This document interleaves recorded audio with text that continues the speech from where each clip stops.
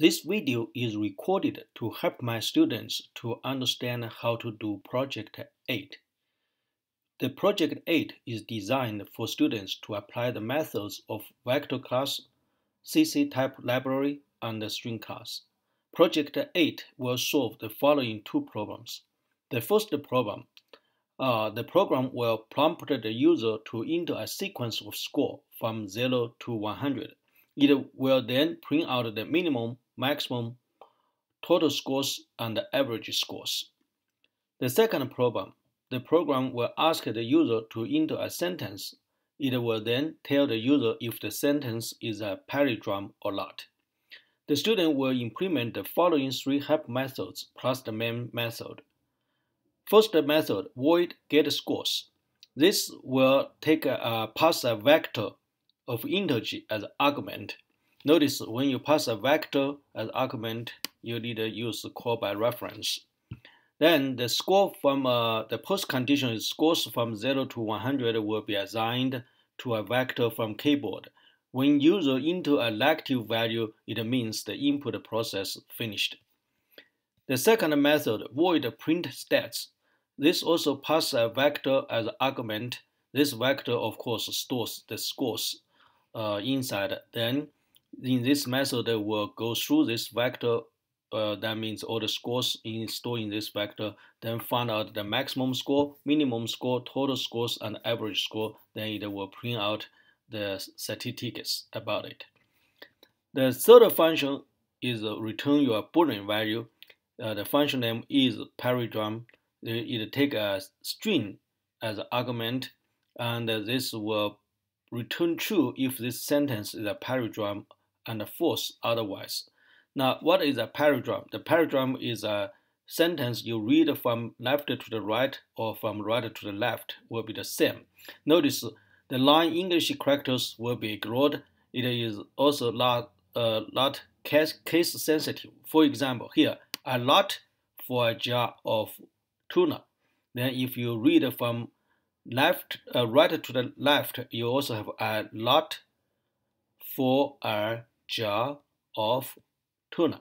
So this is a palindrome. Okay. So when we do this, we first design the structure of the program.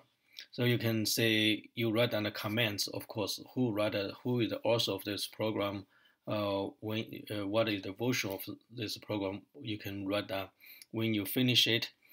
So let's see, uh, we will do first include, oh, sorry, include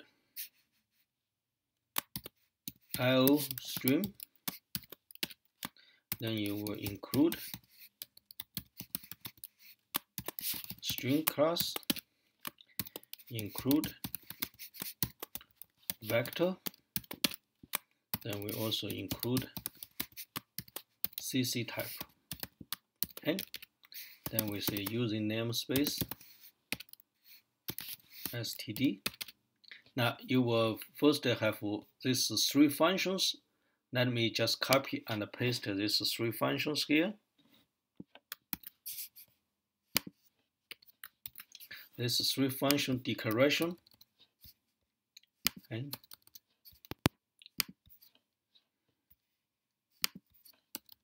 Then I will have a main function.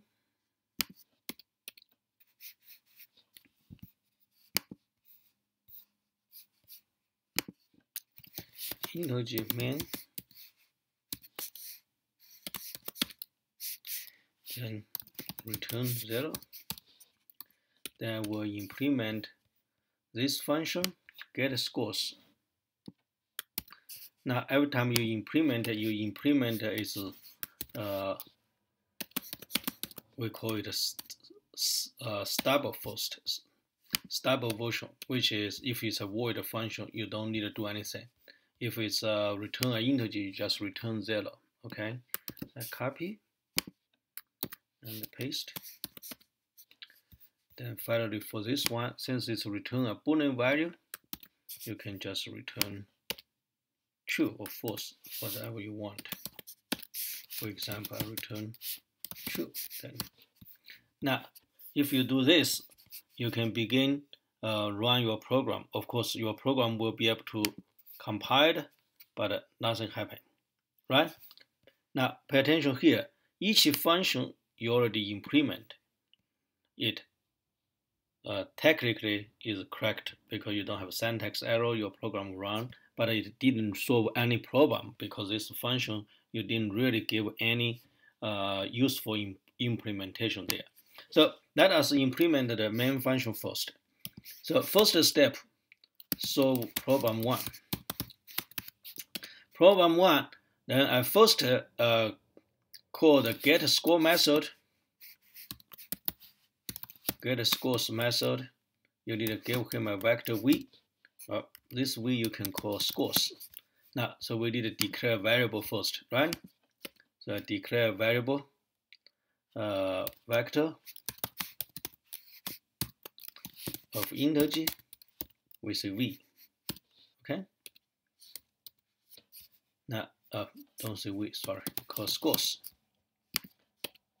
Then I get scores, call this function, get all the scores, store in this vector named scores. Then I call the function print stats. And this function, you give him a vector of scores, it will print the stats. So you solve the first problem. Now solve the second problem. Solve problem two. Problem two, you first uh, you need a, a sentence. So string sentence, for example, you, you can call sentence or you just call string s. Right? Then you print out a message into a sentence. Then I will tell you if it is a palindrome. Okay.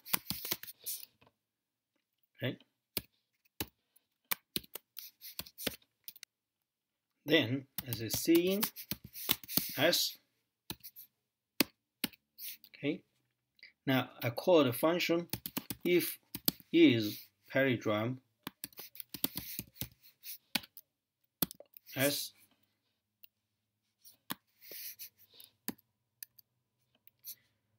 Then I will print out the message.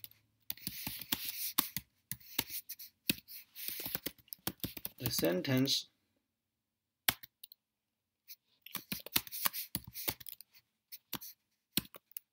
I will print out this sentence in double quotation marks. So I say the sentence, I print out double quotation marks first, right? Oh, actually, I can print out here uh, remember you will use escape char okay S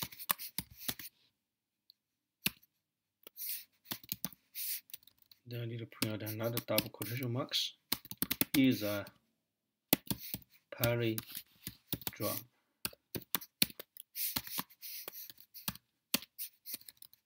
this is called a function is a drum. else I will print out the same sentence I just printed out is not a palindrome. So copy is not a palindrome. Well, since your if statement only have one sentence, you don't have to put it in the brackets. So after you've done this, you will say you still can run your program. You see successfully. Now, uh, for example, here say in the sentence, I will say tell you if it's a palindrome. I just say Anna. This Anna is a palindrome. Why? Because it's always palindrome. Because you call it palindrome, always return true. So uh, you really did not test the program. You just say so far you are okay. You say your function really main function really call this is palindrome function. Okay. Now let us say get a scores. How to implement this get a scores. So I see uh, out into scores into uh, negative one to stop. You can give people hint, right? Into scores into negative one to stop. So you will do uh, cin score. Okay, uh, well in that case, I declare local variable first. For example, I declare local variable integer score. Okay, cin score if score greater than equal to zero, right? Then what I'm going to do, I will add this score to the vector v dot push back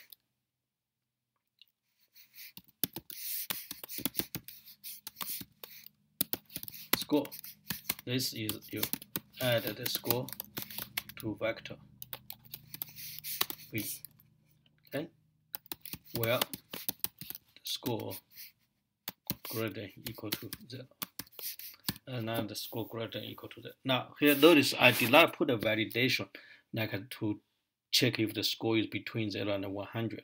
You can uh, add the validation as not, uh, you keep asking user to enter a valid score if his input is not, not in the uh, is more than 100. But if he enter negative, it will be assumed he want to quit this input. Okay, so this do while loop first ask user enter score. Okay, then if this score is greater than or equal to zero, then you add it to the vector. Now, if, if you keep doing this as long as he enter the score is greater than or equal to zero, equivalently, if he input a negative score, then this do while loop will finish. Uh, then your get scores method will finish. Then I will print out the stats. Print out the stats, of course, I can uh, go through this vector, right, to get every element in the vector. So in this case, I can, for example, I can integer uh, size equal v dot size. That means how many elements in v, right? Then can you say now? Look at this, what is this error message. Probably I will use size t. See if this is better. Yeah, look like it says t. Okay i equals 0, i less than size, i plus plus, okay? That means you step through vector. So what you will do, you will say uh, you will always have an in integer minimum score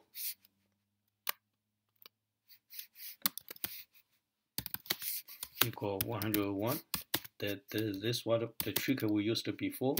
Max score equal negative 1. Then total score equal 0, right? Then I will say if vector uh, i is less than mini score, then your mini score uh, mini score need to be updated. Mini score need to be updated equal vector vi, vi I mean element vi. If vi is greater than max score, then you have to update the max score equal vi no matter what, your total score plus equal VI. So basically this for loop will step through all the elements in the vector V, which where you store the scores. Then for uh, you beginning, you assume the minimum score is 101 because we assume the user only input the score between 0 and 100. So at the beginning, you assume the minimum score is 101, but if this minimum score or you after you find a lower score, then you will update the minimum score. You assume at the beginning the maximum score is actually 1. After you find the largest score, you will update the maximum score. Then you always keep update your total score. Then once this finishes, you only print out the information if the total score, uh, the number of scores is greater than zero. Okay, so if size uh, v size.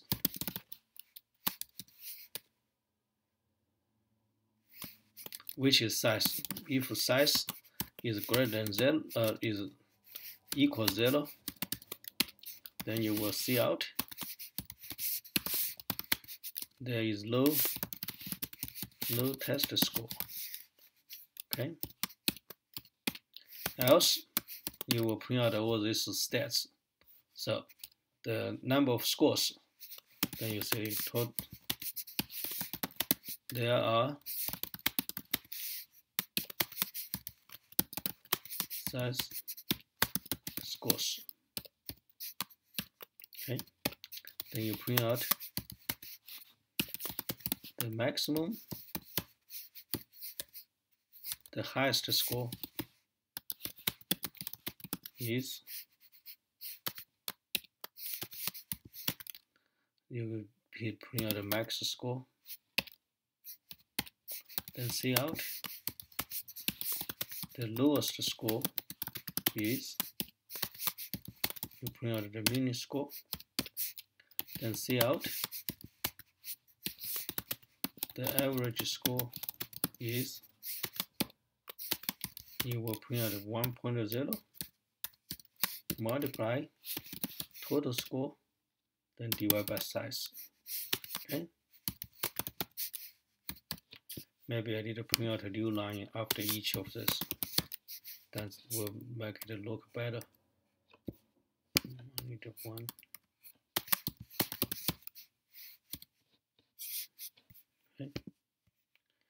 Now so print out all those scores. Now let, let us uh, test. Every time you write a one you test it into scores into lecture 1 to start. Let us into 90, 100, uh, 80, 60, 70, then negative 1. Now there are five scores. Highest score is 100, lowest score is 60, average score is 80. Same cycle is correct. Now let's implement the function is palindrome. Your book has an example uh, to do this work. However, in your box example, it uh, implements several hyperfunctions. In this project, I want you just implement this one function is palindrome. So you need to understand the box example, then try to combine all those functions together. Uh, now let's see what we can do. We first declare a local variable integer left equals zero. This is left index of elements of charge characters in sentence string. Okay, then you can say integer right equal sentence dot length minus one. This is the right index of characters in sentence string. Now, uh, basically, the now we see here they don't like it, so I cast it down it to integer. That's no problem. Uh, basically, for example, at the beginning, left point to the first character in the string, and the right is the index of the last character in the string. So I will compare the first character in the string and the last character in the string. So if they match, if they don't match, of course it's not a palindrome. If it match, then increase left by one, reduce right by one, then continue to compare those two characters. So what I will do, as long as left is less than right,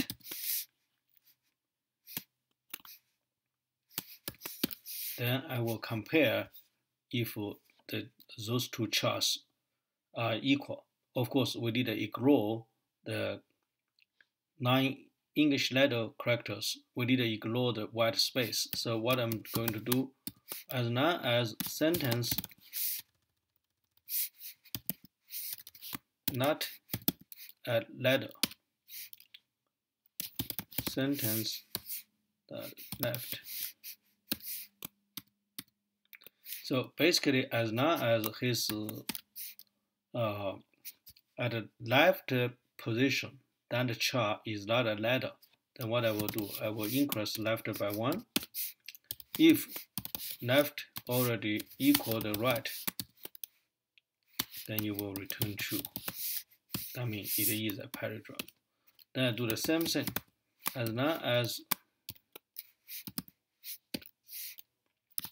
sentence is right is not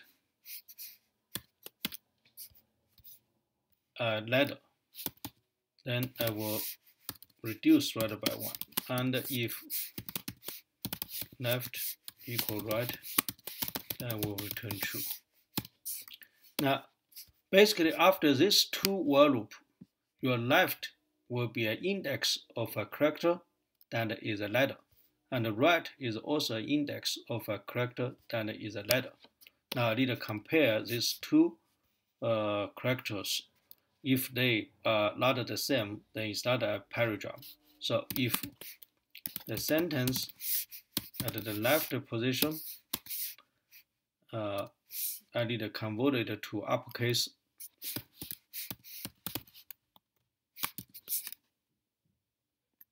after converted to uppercase not equal convert the sentence at the right index to uppercase.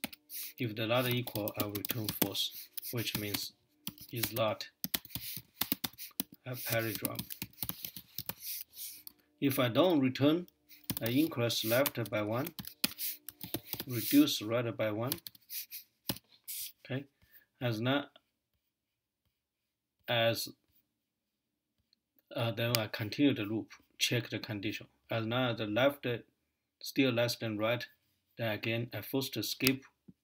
So this, this for loop skip all nine letters, nine English letters. Here also skip for nine English letters. Then you compare if they're equal, right?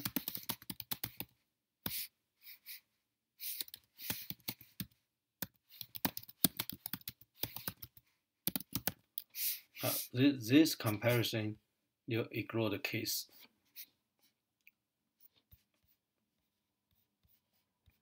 This comparison ignores the case because you converted them both to uppercase first. Okay, now let us run the program. Since I already tested the first part right, so I just enter one, the low score. Then you enter a sentence, I will tell you if it is a. I say, a lot for a jar of tuna. We try this. Now notice we're supposed to print out this sentence, but he print out A. He only print out A. That means I in, input a lot for a jar of tuna. He only actually read A. What's wrong? Let us go back to the main function. Okay, here is the problem. We use cin. Remember cin, uh, he will stop read. When he try to read a string, he will stop when there is a white space. So we cannot just use cin. So I will use, can I use cin? So I try to use get line, get line method. This get line method, I will type uh, uh, use cin and input s. Let's try if this works. Okay. So basically, try again if I type negative 1 oh even worse the sentence he didn't read anything what happened because this get line will end by the new line char but when you be, at begin when you read this selective one you still have a new line uh, character in your input buffer so we need to get rid of that. So what I'm going to do is I will call get char method. Get rid of the new line char in input buffer. Here, I suggest to go read your textbook, talk about the new line. Your te textbook has a new line method uh, as an example. You read that method, say how he used call that method to get rid of whatever left over uh, the new line characters in your input buffer. Okay, now let's do this. Have input again. Okay, a lot for jar of Tula. Now here's a lot for jar of Tula is a paragraph. I need to rerun the program to test uh, if I type something is not a paragraph. For example, hello world. This hello world is not a paragraph. It seems like we did okay.